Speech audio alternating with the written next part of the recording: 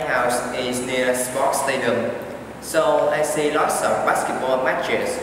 It makes me so curious about it. When I was in high school, I started to play basketball.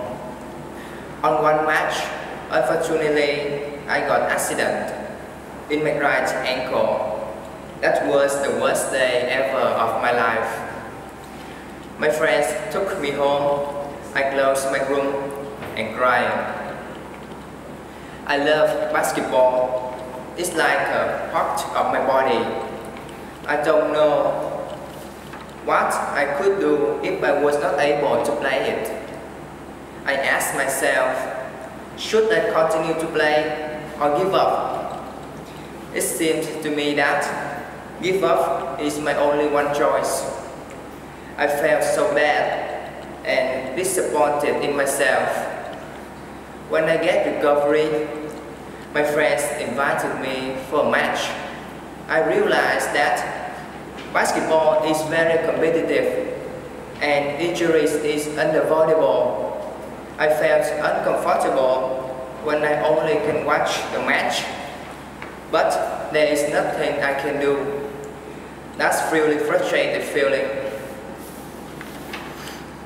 So I decided to practice again at night from 8 to 9 p.m. by myself.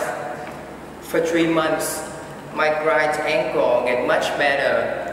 I feel like I'm free to do something I love once again. My friends invited me to join a match. I accepted his invitation. I felt very happy because my friends acknowledged my efforts. I played my best. We worked together very well in a good teamwork and we won the match. We all felt so happy and proud. I felt that I contributed something to the team. That makes me proud of myself. Now I don't have to practice by myself alone. I practice with my team and we have lots of fun.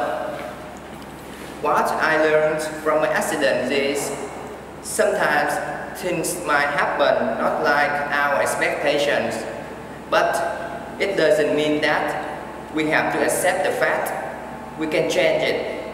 Continue or give up is our choice. Thank you.